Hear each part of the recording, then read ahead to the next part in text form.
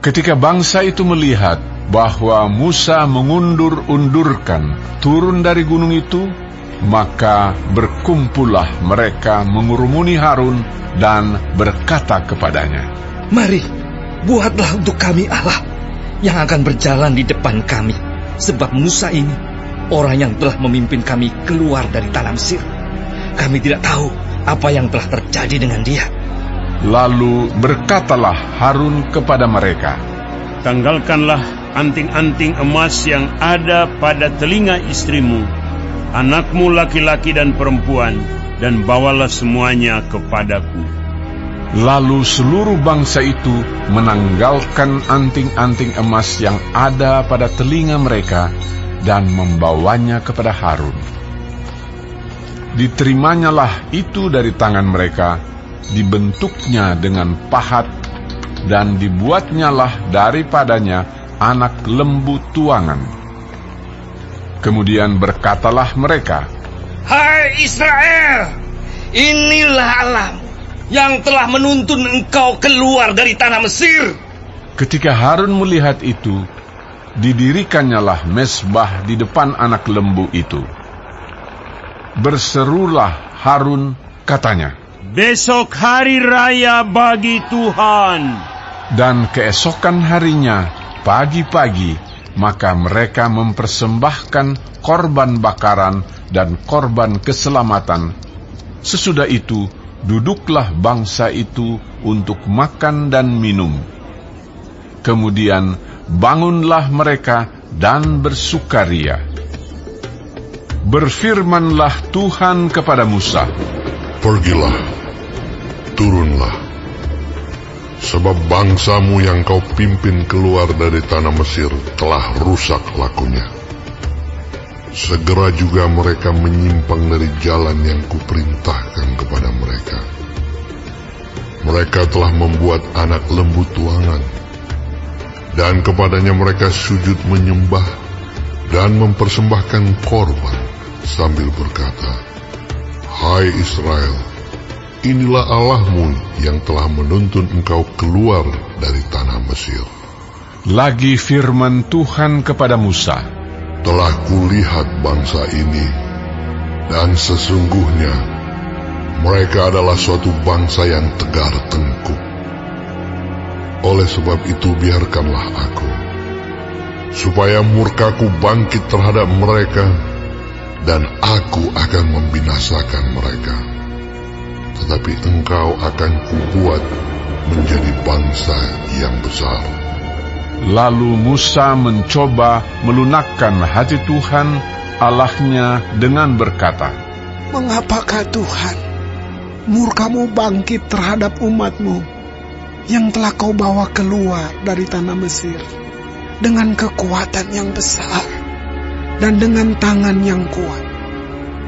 Mengapakah orang Mesir akan berkata, dia membawa mereka keluar dengan maksud menimpakan malapetaka kepada mereka dan membunuh mereka di gunung dan membinasakannya dari muka bumi.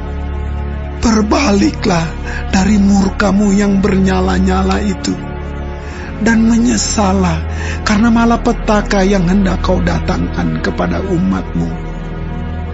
Ingatlah kepada Abraham, Ishak dan Israel, hamba-hambamu itu, sebab kepada mereka engkau telah bersumpah demi dirimu sendiri dengan berfirman kepada mereka, Aku akan membuat keturunanmu sebanyak bintang di langit dan seluruh negeri yang telah kujanjikan ini akan kuberikan kepada keturunanmu supaya dimilikinya untuk selama-lamanya.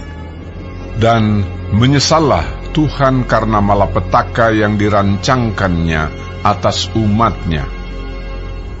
Setelah itu berpalinglah Musa, lalu turun dari gunung dengan kedua loh hukum Allah dalam tangannya, loh-loh yang bertulis pada kedua sisinya, bertulis sebelah menyebelah. Kedua loh itu ialah pekerjaan Allah, dan tulisan itu ialah tulisan Allah ditukik pada loh-loh itu. Ketika Yosua mendengar suara bangsa itu bersorak, berkatalah ia kepada Musa, Ada bunyi sorak peperangan, kedengaran di perkemahan. Tetapi jawab Musa, Bukan bunyi nyanyian kemenangan, bukan bunyi nyanyian kekalahan. Bunyi orang menyanyi berbalas-balasan. Itulah yang kudengar. Dan ketika ia dekat ke perkemahan itu dan melihat anak lembu dan melihat orang menari-nari, maka bangkitlah amarah Musa. Dilemparkannya lah kedua loh itu dari tangannya dan dipecahkannya pada kaki gunung itu. Sesudah itu diambilnyalah anak lembu yang dibuat mereka itu, dibakarnya dengan api dan digilingnya sampai halus, kemudian ditaburkannya ke atas air dan disuruhnya diminum oleh orang Israel. Lalu berkatalah Musa kepada Harun, Apakah yang dilakukan bangsa ini kepadamu? Sehingga kau mendatangkan dosa yang sebesar itu kepada mereka. tetapi jawab Harun, Janganlah bangkit amarah Tuanku. Engkau sendiri tahu bahwa bangsa ini jahat semata-mata. Mereka berkata kepadaku, Buatlah untuk kami Allah yang akan berjalan di depan kami, sebab Musa ini, orang yang telah memimpin kami keluar dari tanah Mesir, kami tidak tahu apa yang telah terjadi dengan dia. Lalu aku berkata kepada mereka, Siapa yang mempunyai emas haruslah menanggalkannya. Mereka memberikannya kepadaku, dan aku melemparkannya ke dalam api, dan keluarlah anak lembu ini. Ketika Musa melihat bahwa bangsa itu seperti kuda terlepas dari kandang, sebab Harun telah melepaskannya sampai menjadi buah cemooh bagi lawan mereka, maka berdirilah Musa di pintu gerbang perkemahan itu serta berkata, Siapa yang memihak kepada Tuhan? Datanglah kepadaku. Lalu berkumpullah kepadanya seluruh Bani Lewi. Berkatalah ia kepada mereka, Beginilah firman Tuhan Allah Israel. Baiklah kamu masing-masing mengikatkan pedangnya pada pinggangnya dan berjalanlah kian kemari melalui perkemahan itu dari pintu gerbang ke pintu gerbang dan biarlah masing-masing membunuh saudaranya dan temannya dan tetangganya. Bani Lewi melakukan seperti yang dikatakan Musa, dan pada hari itu tewaslah kira-kira tiga ribu orang dari bangsa itu. Kemudian berkatalah Musa, Baktikanlah dirimu mulai hari ini kepada Tuhan. Masing-masing dengan membayarkan jiwa anaknya laki-laki dan saudaranya. Yakni supaya kamu diberi berkat pada hari ini. Keesokan harinya berkatalah Musa kepada bangsa itu, Kamu ini telah berbuat dosa besar. Tetapi sekarang aku akan naik menghadap Tuhan. Mungkin aku akan dapat mengadakan pendamaian karena dosamu itu. Lalu kembalilah Musa menghadap Tuhan dan berkata, Ah, bangsa ini telah berbuat dosa besar, sebab mereka telah membuat ala emas bagi mereka. Tetapi sekarang, kiranya engkau mengampuni dosa mereka itu.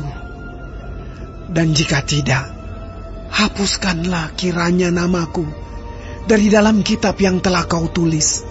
Tetapi Tuhan berfirman kepada Musa, Siapa yang berdosa kepadaku, nama orang itulah yang akan kuhapuskan dari dalam kitabku.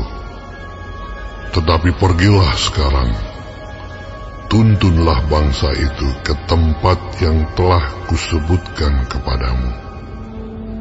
Akan berjalan malaikatku di depanmu, tetapi pada hari pembalasanku itu, Aku akan membalaskan dosa mereka kepada mereka. Demikianlah Tuhan menulahi bangsa itu, karena mereka telah menyuruh membuat anak lembu buatan Harun itu.